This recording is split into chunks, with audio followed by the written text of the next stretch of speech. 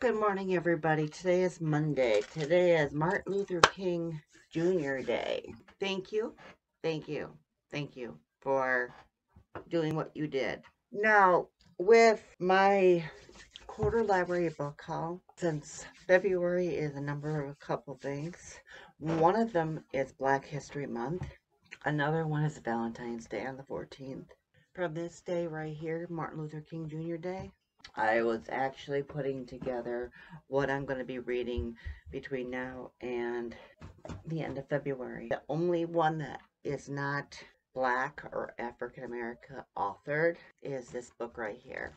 Um, George Washington, The Political Rise of the American Founding Father. Now it's going to be a dry read. I think it's going to be a dry read. Honestly, when you first get into it, holy crap Actually, it's not going to be so bad. It doesn't seem like it would be. I'm going to read the first chapter, okay? In, ni- in late 19, 1757, a man on horseback rode toward a large house overlooked the Potomac River, several miles south of Alexandria, Virginia, draped with a soldier's cloak. The man's figure was a martial, tall, and lean. His russet hair was tied at the nape of the neck. and goes on to saying Colonel jo- George Washington was 25 years old. Interesting. Interesting. Martin Luther King Day, Junior Day rather, is today. And also, we're going into February for Black History Month. The history of black people. I mean, the, sorry, my apologies. I need my coffee. Teaching black history to white people. The one thing that Leonard Moore said, I ask about this phenomenon in class, and they speak about the question, such as, What are you tech? Taking that class for? Is it required? Why does this class exist? Are there any other white students in class? What does it feel like in there? And the last question, that's what his all time favorite question was Does the professor hate white people? My first reaction, my first thought, I thought to myself, there's a lot of thoughts that come to my mind. One of them happens to be when I was growing up, I was, you know, from third grade on to sixth grade, we had one black kid in the, in the, in the class. Her, her class in stature was higher than mine. I mean, I was a white kid, am a white kid, white person, whatever you want to call it. And her, her class's stature is is more than mine. And the politics between all of that shit, she got along with her her classmates just like I didn't get along with mine. Regardless, you have classes. Middle class, you have higher class where they are rich or well to do and then you have the lower class which I was in. So my point being is is that this this book really evokes a lot of feelings about the disparities that black people go through. Hell, even some white people go through the same shit because of the fact that who we are. Hell, I go through this. Minimize. That was what I was trying to say. Minimize. I'm not trying to minimize white people over black people. In fact, I'm watching a, a show on Paramount Plus, The Good Fight. And I'm realizing that black people and white people are just at odds. We're always going to be at odds. Blame it on our our ancestors. When I was growing up, my father was racist to begin with. And, you know, the thing about it is that to a couple of my white friends, colleagues, family, whatever. I'm, and I asked her, I says, would you ever date a black man? Would you ever get involved with a black man? Oh, no, no. Why? I couldn't. I couldn't. Why? I'm not attracted. What if you were attracted to a black man? Are you attracted to the color of their skin? Are you attracted to their facial facial looks? Are you attracted to their body? Are you attracted to their personality? What? So I asked a colleague of mine once upon a time if she would if she would ever date a black man. Oh no. Have you ever thought of dating a black man? Yeah. And Oh, I could never act on it. Why? Well, because what would people think of me? Why do you care what people think of you? Why don't you care about what you think of yourself? People are always too worried about what other people may think about themselves. Throw that out the window if you can. Be your own self. Be an individual. I know it's easier to follow the leader or follow a group, but you know what? Be yourself. Be yourself anyways those are the two books that i was thinking about getting um also to learn a little bit more about uh, black history. Also for black history month coming up i'm also going to be reading this book. It's not a part of my quarter library book haul but it it these are honorable mentions except for one of them this book right here gray boy. So lean on me i love the movie. I've never read the book. So the book, 192 pages. Luminary book. The Luminary book that I got from Lottie last year. This book right here called Gray Boy. So I will give it another chance. The City We Became by N.K. Jemisin. It seems like it'd be a pretty cool book. And it's by a black author. 12, what is it? 12 authors explore a year of rebellion, revolution, and change, 1789. Some of these names I can't pronounce, so I'm not going to butcher them. So here, here they are.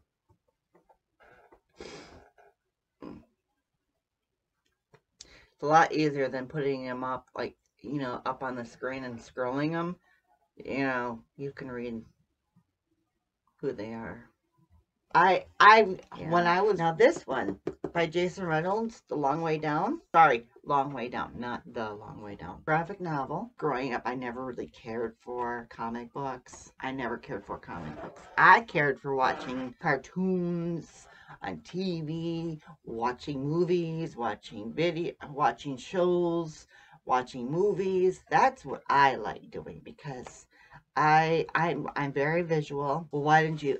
Because uh, honestly, if it came in a book, I didn't want to do it because when I was growing up, I hated school. I hated learning. I hated all that stuff. I I did because I had a hard time.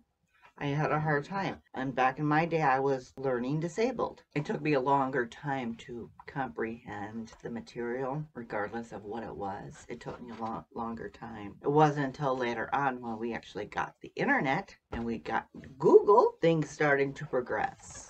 But anyway, I'm going to try it. I've never really gotten through, uh, I don't want to say a comic book, uh, a graphic novel, but I'm going to try it. This one won the Book of the Year Award 2020, believe it or not, the pandemic year. and that's Vanishing Half by Brit Bennett. When I first read the, the, the, the, the blog, but the, the blurb of it, I thought, oh, hell yeah. I'm to give it a chance. I'm to give it a chance. So that's that book. Still watching this show, The Good Fight. I really like it. You know, there's a bunch of lawyers. Diane Lockhart, I think her first, her real first name is Christine. So Diane Lockhart is is the lawyer that's in this black firm. And she is awesome. In fact, all of them are awesome. All of all of the lawyers, all the actors are awesome. But anyhow, it's fitting for this time of year because you know we're we're it we're it, going into Black History Month in February. We're doing Martin Luther King Jr. Day today. This isn't going to air until probably Friday or Saturday, depending upon what what my schedule is. And then also yesterday, the, in fact, this is the one I was talking about. The one I'm going to add it to my list. I have a special day list on my in my description for my Amazon list for anyone that wants to for for my special day. My special day is the end of June. I'll be really older. Point being is that I don't call it a birthday. I call it a special day. Down there in the description if you want to check it out and and send me gifts before my special day. But yeah, I, I put that in my list as well. I hope you guys have a terrific day. Stay comfortable, whether staying warm or staying cool or just in general. I hope you have a terrific day. I'm going to try to have a great day myself. You have a terrific day. I'll see you tomorrow. Bye. Well, good morning, everybody. Today is Wednesday. I wanted to let you know that book. I don't have it in the in in, in the room here, but I have it in the bedroom and I'm reading it, you know, teaching black history to white people. At first, I was a little arrogant and ignorant with with the with the book because I'm like, really? You're black and you're going to teach me. What are you going to possibly teach me? That's the ignorance right there. That really is. And now that I'm in, yeah, almost halfway into the book because it's over like 160 pages, I think, I have a different opinion of it emotionally hard to read. You're going back in time and you're learning how African Americans and we call them slaves, enslaved people lived back then. Some of them still do, according to the book. And my thoughts are, wow, it just brings all the questions to the forefront. It makes me feel bad. It makes me feel bad that this went on, continues to, and the the question was was what is it racism or oh ra- racism or slavery i think it is which one came first and my thought was well, didn't slavery come first? Oppressing people down? Because obviously if you push people down take away their rights take away their materials of reading and comprehension you you don't they don't progress they don't change they don't evolve. Why would you why would why would anybody do that to anybody? You know why and then I also read in the book that black people did the same thing. Uh, they kept slaves. You know, for the people that, you know, for the plantations, the crops, all that stuff. If you wanted the the crops to progress and you wanted these people to, to do it. Why don't you do it? You know, you own the plantation, it's yours. Why don't you go out there and and tend to your own crop? Why do you have to have this black person do it? That's my justification. That's my question to y'all. That is what I'm reading right now. At first, I liked it because I was getting good. It's like, but now it's even harder emotionally to read. But I will tell you one thing about this book. It is written in layman terms. The guy has a doctorate, Leonard Moore. He has a doctorate. He doesn't talk like a pompous ass. He doesn't. He doesn't write like a pompous ass. I'm sure he could write like one. That's not him. You know, he's literally writing the story. You know, that's and that's awesome. I love that. There's so many people that write different ways, and I love his writing style you know, I would consider on getting more more stuff by him. Except for that book, Anatomy, a love story. I'm getting more into that book. And then also I, do- I dove a little bit more into Forgiving Paris. I still want to get into more of my other book, called Midnight Library. I'm a little afraid of getting into that book because I'm thinking it's going to really turn me off. It matters what you think of what you read, not them. So you have a terrific day. I'll see you. I'll see you soon. If nothing else, I'll see you Friday. Have a great day. Oh, good morning, everybody. Today is finally Friday.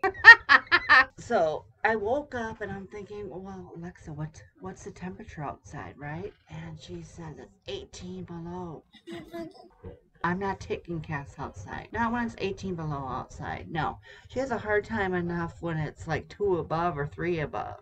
So I laid down a a couple pads for her. The one book that I wanted to tell you about, this book, I was listening to it on Scribd. It's it's a good book. It's a good book. I'd give it probably a three or a four right now. I'm gonna re-listen to it. You know, I think I'm I'm I don't know an hour or two away from the end of the first book. There's different voices, different mediums that you can listen to, and it uh, some of it makes me laugh. Literally, this this coming month, this coming month, February, Black History Month, I'm going to dedicate a lot of the Saturdays. You know, I'm going to do my TBRs like normal, right? And then I'm also going to add Black History Month to that. Kind of like what The View does on a, on a daily basis, for instance, with their Black History Month. But since I only broadcast every Saturday, I'll do it once a week.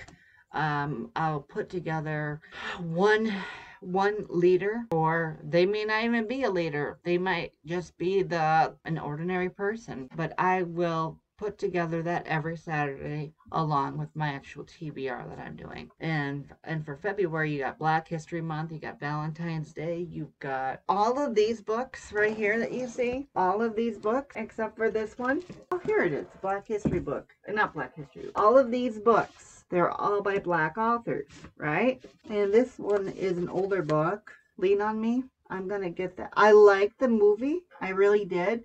So I'm going to read that one see what they are. Um, the the one book is okay. Yeah, those th these two books are just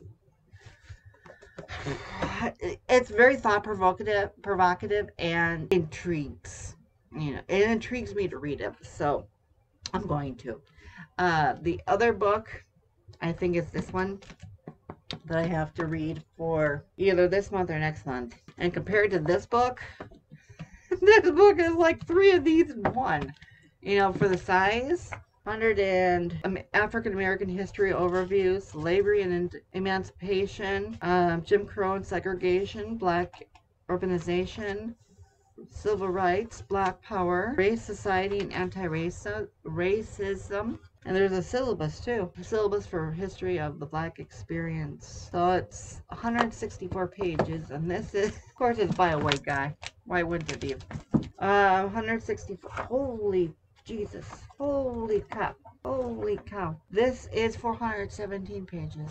I'm expecting a couple things in the mail. One of them is the Chronicles of Narnia. I can't remember what else I'm I'm expecting. Oh, and P.S. by the way, just my opinion. You can take it or leave it. Uh, you remember when I told you that I ordered um, uh, for that emotional support animal stuff? You know, like the, the harness, the leash, all that stuff. That was the 22nd of November. Today is the 21st of January. Two months. Two months. Still haven't received it, right? I emailed them back and forth. There's like the first time, the first time. I, I this is it, it's not funny. It's like it's pathetic. So, uh, emailed them the first time. Well, we don't have an address on file for you. really? Really i would think that you could program that stuff into your the website you know information because i paid for it to begin with so it's like when are you going to get this back to me so then i contact them again well we sent you an email you sent me an email which was the end of the end of the end of December. It'll be coming. You'll be getting tracking when it comes, right? So weeks later, the beginning of January, I email them again. When is it coming? Well, we've had nothing but troubles. It's like, well, can I get a discount on it? I got this snippy little blank emailing me back. You know, it's like you can get a complete refund, or you're we going to add a, a, a special gift with the people that you know they're they're it's running behind. It's like, dude, really? I mean, next oh, anybody seriously anybody that orders from that place, just order the ESA certificate. Be done with it. Like sixty bucks on all that stuff. So it's like, wow, you have your consumer at a disadvantage the the one video the one series that i'm watching right now is a good fight on prime actually it's technically paramount plus i'm considering on getting it i think it's ten dollars a month starting starting in february. Yeah i think it's worth it so i'm i'm watching that. I think that's it. Because when i get done with work i just want to eat supper watch tv i usually i usually read if i have the energy and not just this book no. Well, this book is right in front of me, so. Are available tomorrow. Come watch my show. You guys have a terrific day. Enjoy your Friday and enjoy your weekend. If I don't see you tomorrow, you know what I mean? I will see you next week. Thank you for watching, and I will see you soon. Take care. Bye.